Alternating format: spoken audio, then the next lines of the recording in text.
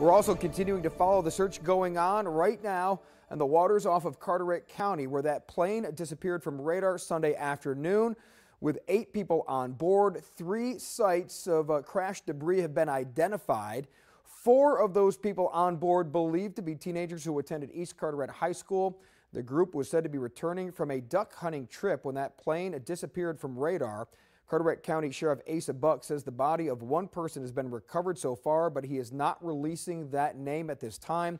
Rescue crews from the Coast Guard in Carteret County continuing their search for clues off the coast in the Core Sound. Rescue crews from the Coast Guard in Carteret County again searching that area. News Channel 12's Sharon Dankwa is on the scene for us again today. Sharon, we're waiting for some announcements anytime now from the Carteret County Sheriff. What's the latest you're learning here this morning?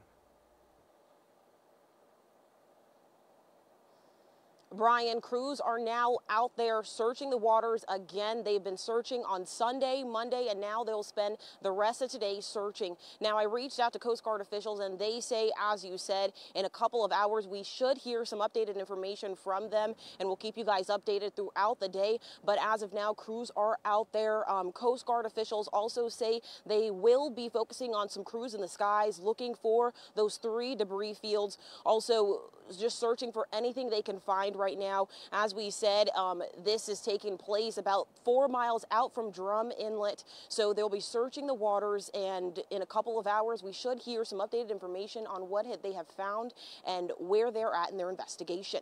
So far, live in Down East, Sharon Dankwa for News Channel 12.